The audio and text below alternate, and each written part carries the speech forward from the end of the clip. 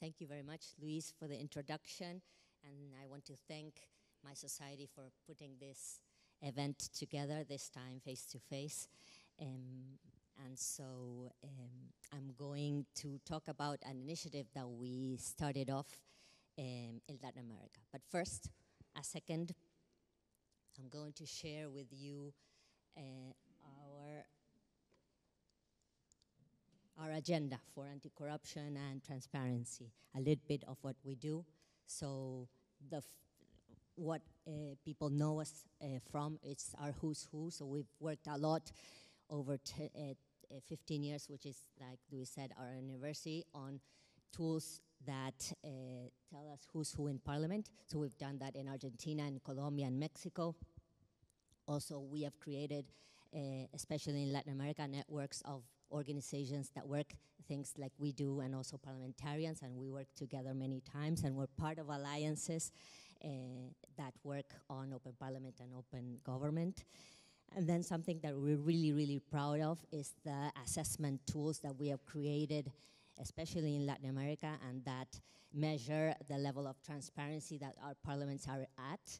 We've done that, we've measured it six times in Latin America already, and we've shared our experience in Africa, and they're doing it as well there. They've, I think they've done it two times already, and we're trying to create a, sort of a network and, and share experience as well with Asia and the Western Balkans, hopefully. We work a lot in open government, but today I'm going to share our experience on cross-referencing uh, corruption, on uh, financial disclosures, and uh, advocacy campaigns and litigation, which is a three sort of part of our agenda, especially um, um, on, on the last part, especially on uh, our ability to litigate against uh, different uh, agencies in the government. So our initiative today, I'm going to share these five faces today, which are five politicians from Colombia um, in Latin America. Col uh, Claudia, she's the former mayor of Bogota. Jose, he's the former mayor, uh, governor of the Department of Tolima. Eduardo, he's the former governor of the Department of Magdalena. Ivan, Speaker of the Senate today, and Camilo, uh, an MP of the lower, lower house in Colombia. But these are only five of the faces of political of Colombian politicians, which we're going to come back later about who and why they're here. But these are only selected cases of 2,073 um, what we call PEPs, politically exposed persons, uh, that uh, we have analyzed in this initiative. So this initiative is called Joining the Dots, and we've started working on this in 2020. And it's called Joining the Dots, and then in between brackets with PEPs, with politically exposed persons. So this initiative was originally spearheaded by the IMF when uh, I think it was during the pandemic or a little bit earlier, they put together a sort of anti-corruption challenge uh, where organizations brought ideas to use civic tech and fight corruption. So we won one of the, those, and what they did is helped us develop a sort of prototype to crisscross data to find uh, corruption cases. Or in that moment, it was only to find conflict of interest of the um, political world in Colombia. So at that moment, we started off very little, and uh, we've worked already three years in this initiative. And just to give you a volume of the databases that we've worked with, so you see that there, 4 million public contracts, 125,000 campaign donors, financial disclosures, PEPs, relatives of PEPs, uh, mining permits, and informal complaints. I think just two little um, notes on this. We're really, really um, uh, proud in a way of some of the information that is behind those big numbers. So, for example, uh, at the bottom you see informal complaints. So we have this scene that we worked in uh, with all of the data that is formal data gave to us, gi given to us by the government of Colombia or by the Parliament of Colombia. So we decided we needed to sort of see the informal data, where we can take that informal data and try to cross it with the formal one.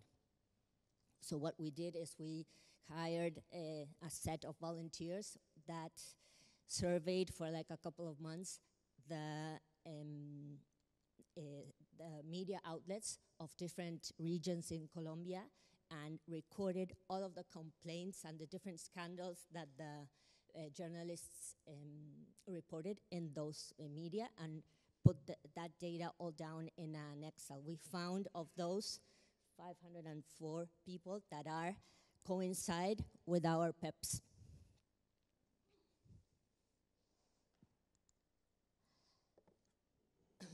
And so since the beginning also of the initiative, we worked on specific red flags. And then we added more and more. So those are sort of questions that we do to ourselves so that the data talks to us and we can find conclusions in a way. So today we have around 15 red flags, but they're categorized in those. So the first one is, of course, it's, it's the easiest one, but the most complicated one or complicated one. Um, that is the um, uh, PEPs that are obliged by law to submit a financial disclosure declaration, but they don't. The second is the uh, irregularities that uh, these people fall into when they turn in uh, most of the times the financial disclosure declaration, and this can be, for example, um, a PEP that um, declares other income, but that other income uh, is not reflected or it doesn't uh, um, uh, publish which of the companies or, or where does that income come from. And the last one, which is the one that has more um, flags inside or more red flags inside, categorized is the illegalities or the uh, unlawful activities that they have turned into. This can be PEPs that have had uh, participation in a state contract um, or PEPs that have family that have participated in government contracts or uh, these can be PEPs that have been funded uh, uh, have received funds for the campaign, uh, and those campaign funders are government contractors and have turned into government contractors after they uh, financed the campaign of a specific politician.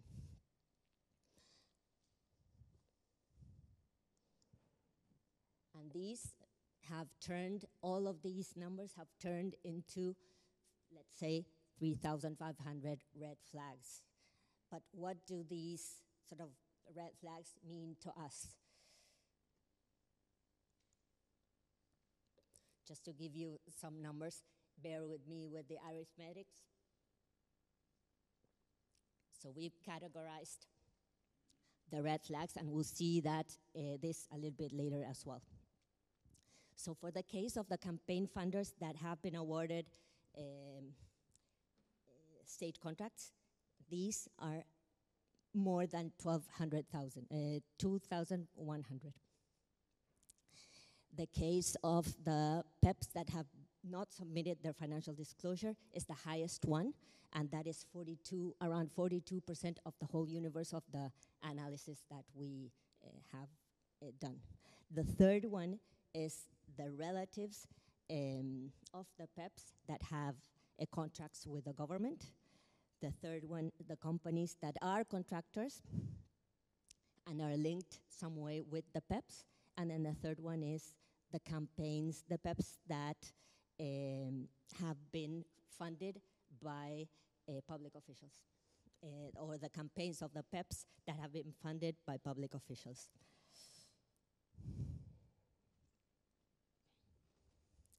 Let's see if we can have sort of a closer look.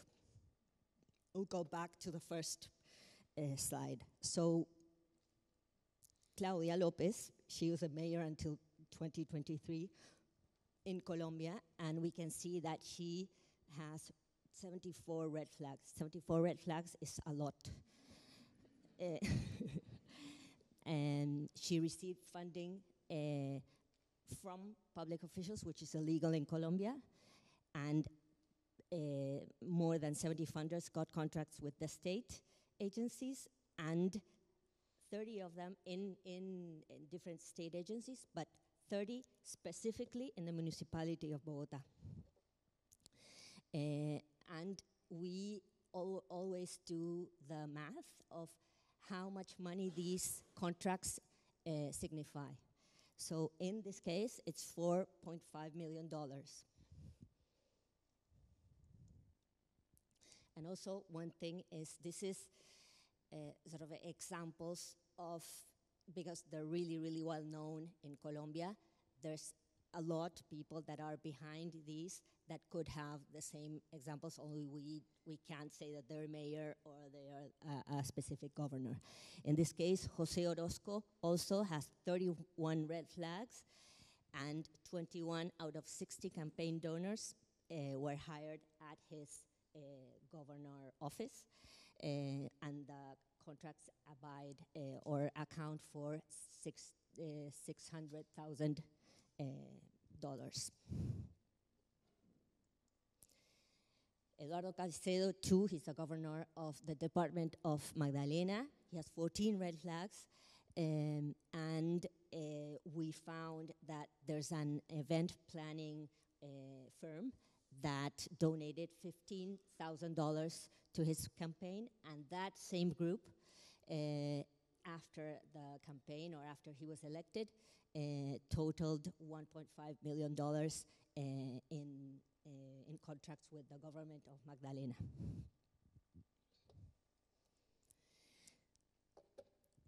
Ivan Name is today the Speaker of the Senate. And he has seven red flags, and also he has several problems with relatives, the hiring of relatives. So he has hired uh, at least two or three of his sons, his brothers, and uh, nephews that have contracts with different agencies in the government of Colombia, and this abides for uh, $400,000 in Colombia. Colombia is a really, really poor country, I have to say, like uh, many of the rest of Latin America. And lastly, Camilo uh, Avila, he is uh, a regular MP. He has four red flags, and he owns a company that he didn't uh, um, disclosed in his financial declaration. That company uh, has one million contracts in, uh, or the, the, um, the money that reflects one million co in contracts uh, with the government of Colombia. So,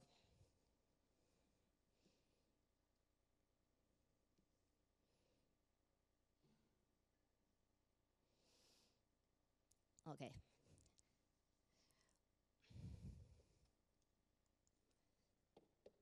In all of the red flags that we put together and that we found of contracts um, and funding and but it's this is money specifically of contracts it doesn't mean that the government of Colombia or any level of the government of Colombia wouldn't have spared that money. This is the money that we're talking about.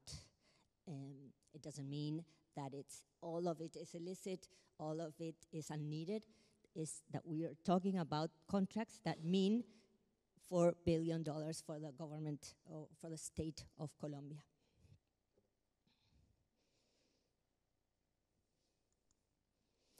So what did we do? So as an organization, what did we do with all of this data that we had in our hands or that we have in our hands? So we're, this is a, a work in progress. So this, what I'm going to say now is what we're thinking of doing. And also in the questions, I would receive suggestions from you if you want to, to suggest next steps as well. So first, remember this slide that I showed earlier?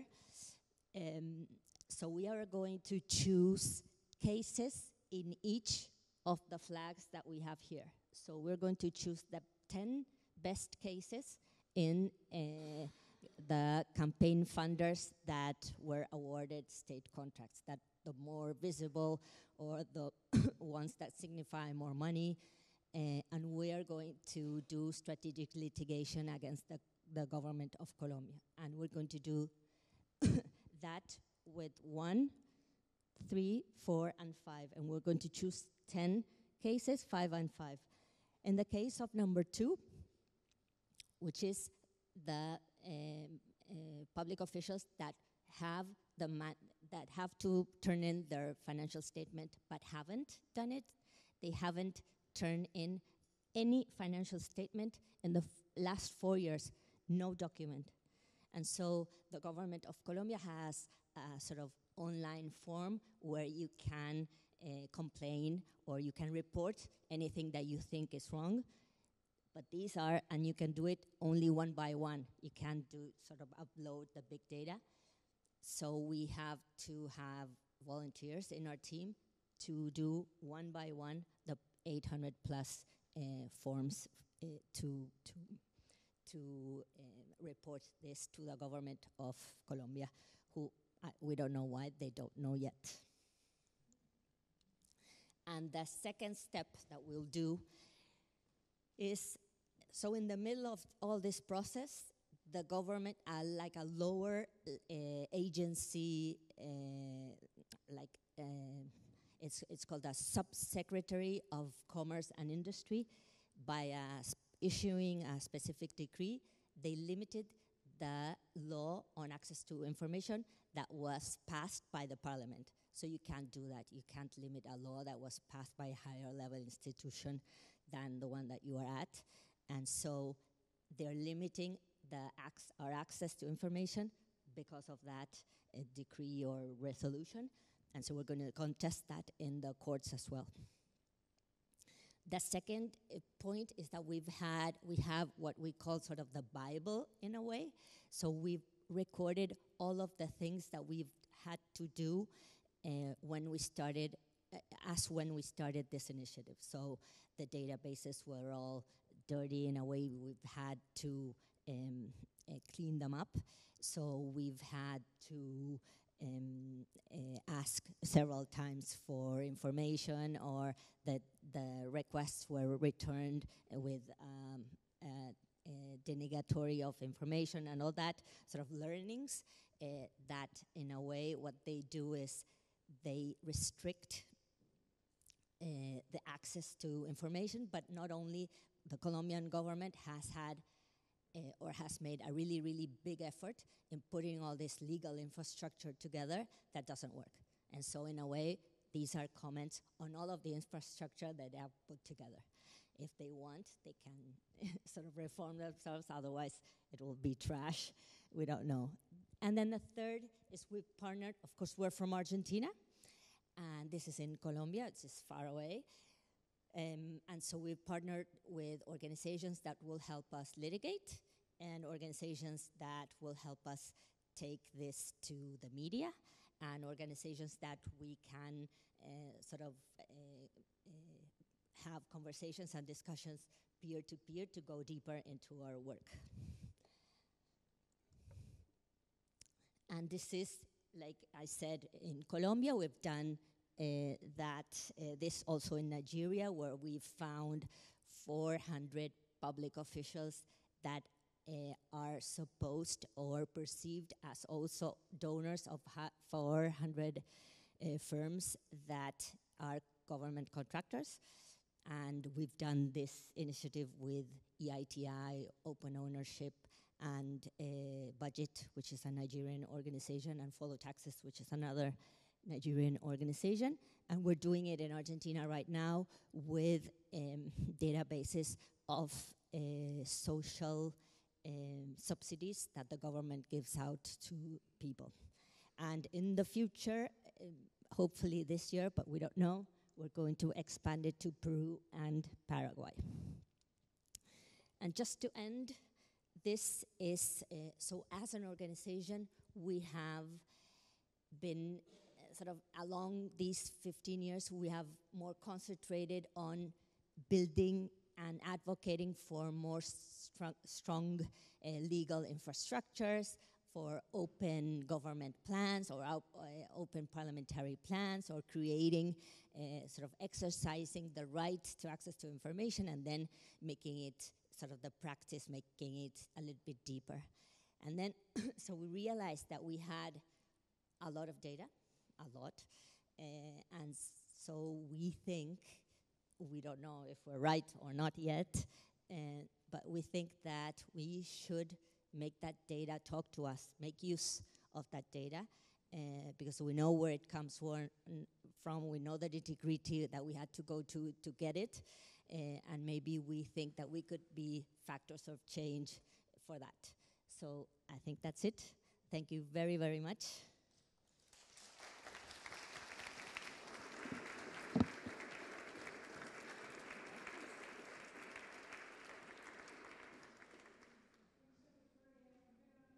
Questions both on Slido and in the room. If you have questions, we have roving mics. So the most popular question on Slido is you've identified a lot of problems here. Um, what data do you have on any impact of taking action against those problems? Are you seeing the politicians voted out when these kind of when these kind of red flags come to light? Do you see the politicians get voted out? The politicians? Uh, get voted out of office. no, I don't see any change yet. Like, uh, so, so the, these are the universe of these um, of our uh, final analysis because there's 20,000 PEPs in Colombia. So we narrowed it down to 2,073, which are the president, the ministers, the governors, uh, the the national uh, legislators and the local or the provincial, let's say, legislators. Those are 2,073. Of the 2,073, at least half of them have something, some sort of irregularity. That is a lot. Uh, so, and, and of those, many of these will have to go to the courts maybe not will, will not be in jail, but they will have to have, I don't know, maybe two, three years of explaining of why they did this. Um, and so when they are too many, I don't, or we don't see the uh, consequence. So people will keep on or have been uh, voting for them anyways. So maybe when they clean up a little bit, then there, there will be sort of a, a I don't know, like a, an informal sanction, sanction from the um, community. We don't know yet. Yeah, difficult, difficult when it's so endemic, yeah. definitely. Um, second most popular question on Slido is whether project members have been threatened and how do you ensure the safety of your team and your collaborators? So the, luckily for us, the, we are in Argentina, which is five hours flight to Colombia. so we haven't uh, had any problems yet. The ones that will do, so I went to Colombia in November of 2023. I was scared. But this is not something that we have put in the media yet. And the litigation, we haven't done it yet. And so we're, we're planning on doing it very softly. But yes, it could be a threat. So Colombians have a history of, of, of killing a person that did an, a, a, goal in the, um, in the World Cup, soccer World Cup. He did a goal to his own uh, team and they killed him. So this is much more, much worse, I think. I don't know. so it's, the, Colombia has a history of uh, threats and of kidnapping and uh, we, it's not available yet. That's good. Um, next question uh, Would you be worried that the policy recommendations in the next steps would uh, aid the evolution of bad behavior to become less? Are you in an arms race where it's just going to prompt more sophistication? Yeah. So, so we have a back pocket sort of card there. Since the initiative was um, initiated and spearheaded by the IMF, so the IMF is our ally, and the IMF can put conditions to the government of Colombia, and so we're hoping that they do that. They already have heard uh, one of the points that we brought to them, to the IMF, uh, on the access to public information limit by a lower agency. And they have put that as an alert in the reports that they do every year to the different countries. In the one of Colombia, they've done it already. So the Colombian government knows that there is a, a sort of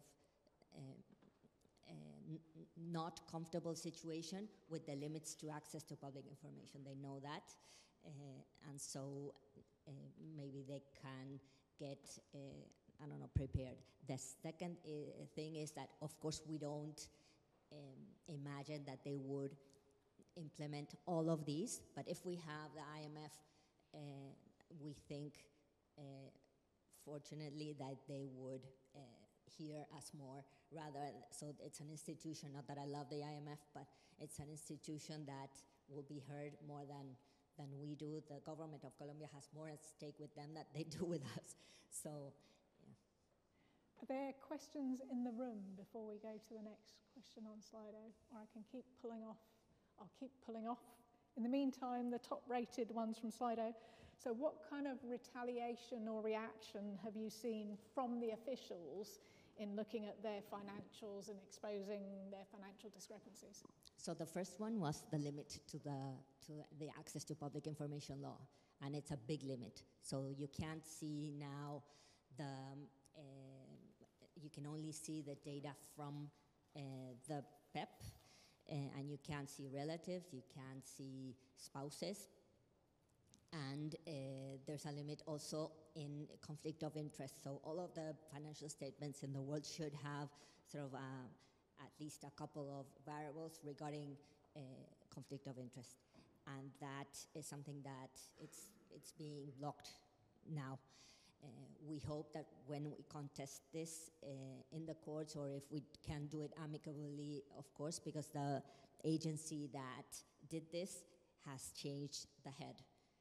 And the new head will hopefully we think have a meeting with us and see if there's a possibility of um, annulling that uh, regulation. We don't know but if we if we make it uh, make a strong uh, argument. Maybe there's a possibility. I think that's that's when uh, they notice that you're doing something uh, that could harm them.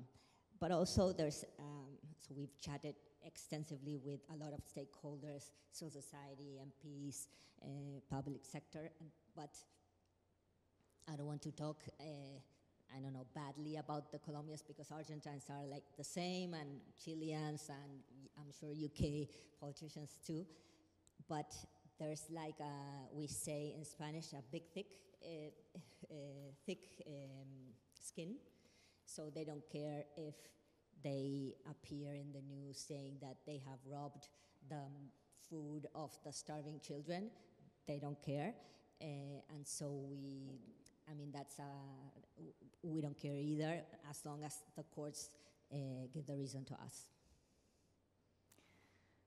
Um, next question, unless there is any, we have one in the room? Hang on, there's a, a mic on its way to you from behind. Yeah, I, I have a question. Um, um, the speaker beforehand spoke about institutional opposition uh, or support, and I'm just wondering in this case, in terms of um, know your clients regulation, um, to what to what extent is the financial sector um, a potential ally here in terms of um, insisting that uh, you know they have full disclosure on the source of money that might be transferred to them, or is this money heading to offshore to places like Panama and so forth? So the public sector, uh, the, the private sector sorry, is involved. in this. So there's a, like a gray area between public and private sector today um, because they are the beneficiaries of titles and contracts and uh, so they have like um, uh, a less of a meandering road to get to the public officials. And the fact that the numbers show that there's a lot of, it's a good consequence for the private sector to have funded a campaign and then get a contract. Uh, I, I, mean, there, uh, there's a big benefit. I don't know if that answers your question. Much help from the financial sector. Uh, it sounds like you, are not getting a lot of help from the financial sector in terms of. No. Uh, no. Uh, we haven't asked uh, also, but, but no. Also, there's a lot of, just uh, to, to, to complete sort of the, the whole idea, in Colombia, there's a lot of, uh, that's why we started it off with trying to work with um, extractive industries, uh, with the extractive industries sector. There's a lot of illegal extractives in Colombia. So there's a lot of firms, mostly are being said that they're Chinese, but they could be Russian, whatever, and they can be Colombian as well. They can be, I don't know, the mayors can be the owners. Uh, that uh, practice mining illegally in many, many parts of, the, of Colombia. So that is another uh, sort of step that we should go into, analyze those contracts, see if they're, if they're exploring, if they're exploiting, or what they're doing. Uh, but we haven't gotten there yet. Uh, we have more questions on Slido if you're happy to take a few more, Marie. Um, I see a Colombian in the room practical question how do you identify who is a family member of a PEP? Okay, th- there's uh, a couple of things. So in the um, in the financial disclosure, they have to uh, put the name of their spouse, and that is really relevant for us because they have to give the sort of ID number, and so we in Latin America, we all have the same last name, so we Maria Baron can be like 10 other people too. So the, the, that number is really crucial. That's why we make a lot a big point in accessing to the financial declarations and asset declaration and conflict of interest declaration. Also, they have to declare if any of the family members, and this goes to brothers and kids, uh, if they think that they could have a conflict of interest with any of these. If they declare, we have their names. And then also, that's one of the databases that we uh, sort of created. It's in the Who's Who that we created uh, for Colombia in 2016 and 18 and 20.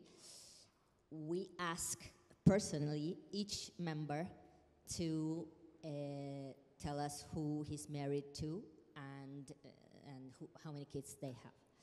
And also in Colombia, so for example, I am Maria Baron and a second name, which corresponds to uh, second, second last name that corresponds to my uh, mother. And the kids usually have those two last names. And so you can put together those two last names and you have the mother and the father. It's, it's not so complicated as it sounds. Um, and so we can guess who's um, uh, relative to who. But that is informal data because we don't have, in many cases, the, the IDs. And remember that only half uh, of the members have disclosed or given the documents of disclo- uh, financial disclosure. So we there's a lot of data. This can be double or triple if we had all the financial declarations. Are there more questions in the room or? one over in the other corner. Hi there. Um, firstly, amazing work. Um, I can see something uh, working quite similar in, in my home country of South Africa. So my question is kind of related to that. Um, how do you decide which countries you work in and how do you decide which organizations you, you partner with, especially if you have to do litigation in those countries? Thank you. So in the case of Colombia, we decided it really, really pragmatic because of the challenge of the IMF. So we had to choose a country that the IMF was active in, the IMF had an office. So, for example, in, in Argentina, they don't have an office. So it's really, um, it had to be one of those countries. Uh, it had to be a Latin American country. And also, since we started it off with EITI, the Extractive Industries Transparency Initiative, it had to be an EITI country. So Colombia is all of those variables. Um, then, so we, in Latin America, fortunately, we work a lot in networks. So we know our partners in all of the countries. So the classic TI chapter is one of our partners, so we've talked with them a lot. Uh, but not, not all of the organizations do everything that we, we need for this initiative. So we, um, so we consulted a lot with Transparencia por Colombia, uh, and then we are going to do the litigations with another organization that is more specialized in, in litigation. Um, and then there's another organization, it's, it's kind of like a CSO, but also more uh, dedicated to news. And so they do a lot of work with politicians, and they're really, really high in social networks that we partnered with as well, so that when we go sort of out public, they can viralize uh, the idea. But if this was done for example, in the case of Nigeria, uh, also we work with BudgIT. It's a really big organization in Nigeria. We really, really liked it, uh, like it, and also Follow Taxes, which is like an organization that follows taxes and and works more like the interior of of Nigeria. But in civil society, I think uh, in our world, that the parliamentary monitoring organizations and the the you know, like I said, the TI chapters, we really, uh, there's a community there, and there's always sort of the, the luck. So we're very lucky because there's always a helping hand on the other, uh, or on a very far part of the world, and there's always someone that knows the other, and there's a really, I would say, uh, a, a community that that really wants to get uh, to the bottom of, of things like this. Maria, we're in a bit of an auction situation with the next two questions. It feels like these are really popular questions, so I'm going to go through those two next. So, uh, and winning now is uh, what is the general public's view of the project? So, is there a lot of awareness? And do people want to use it as a reference to vote, or is it just no, not? we haven't made it public yet. Okay. Yep. So I guess they will, they will know, and it, it's, it, there won't be sort of like a launch. It will be there's a question there. Uh, and there, I think there will be sort of like a, I don't know, pu publishing of specific things. Because if we do like a specific law, a launch and a presentation, whatever, I think it's not our personality. We, we want to go to the litigation and the, the cases in a way. And then second one about privacy. Is the government using privacy of the PEPs, presumably, and their families as an excuse to block the investigation. The, you mean the oh the the, the yellow one? Yeah. Uh, yes, privacy as an ex- yes. The, um, the, the law that has been has limited the access to public information is uh, limits on the grounds of privacy for uh, uh, personal privacy, and also many of the requests that have been uh, denied are on privacy. And then question in the room. Hi. Um, I'm interested to know if there's any type of technology you use, because that would be in a lot of documents and a lot of reading. Uh, if, did you use any like assistive technology to browse through, organize, um, you know, categorize? So we, uh, what the IMF did was they funded our prototype, which is a tool. Uh, we call it a robot, a mini robot, to crisscross data. So we put the, the variables that we want them to find, the robot, and, and it does. And so, but then afterwards we need to analyze, uh, you know, the, the, the results very uh, deeply. And so, yeah, that. A really good question on Slido. So, what makes a country, a, in your view, a good candidate for doing something like this? I, I think I, I don't want to say that Co- Colombia is the most corrupt, but I think the good candidates are the most corrupt, uh, or the ones that um, that you would question. Uh, you would think that they would do things like this. So practically, the whole of Latin America could be a, a good candidate. The thing is that, uh, for example, Colombia has uh, legislation on. Um, uh, um, uh, on uh, uh, beneficial ownership.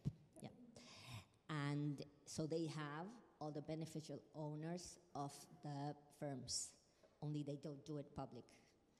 And so I think a good country would be someone that has that public. Uh, and of course, this is a work in progress. We could also go to third countries that have beneficial ownership and then ask for information about Colombia or the country that we're working at. Uh, but we need to like we need to spend more time, and I don't know how much time we more we can spend in this. But if there's like a crazy, very detailed oriented person that can uh, sort of dedicate days and nights, it's incredible what you can find. Probably the last question now, I think. Um, so you're uh, looking at economically developing countries. Uh, do you have plans to target one of the more developed countries? Yes, uh, uh, we can. Uh, I think, like, if you ask me, uh, since we started it off with uh, thinking about extractive industries, I think Canada is a good candidate too, because they have a lot of well, all of the of the high-income countries have ties with the smaller ones, but I think Canada, in the case of the mining sector, uh, is really, really tied with uh, with Latin America specifically, and also they sort of have a beneficial ownership uh, legislation that they should, uh, at some moment in time, make public. Um, and also it could be really, really interesting to contest that why they're not doing it so far. So, yeah. but let's not get too bigger and let's get the Colombians in still, and then we'll see what happens with, with other countries too. Amazing. Thank you so much, Maria. Please join me.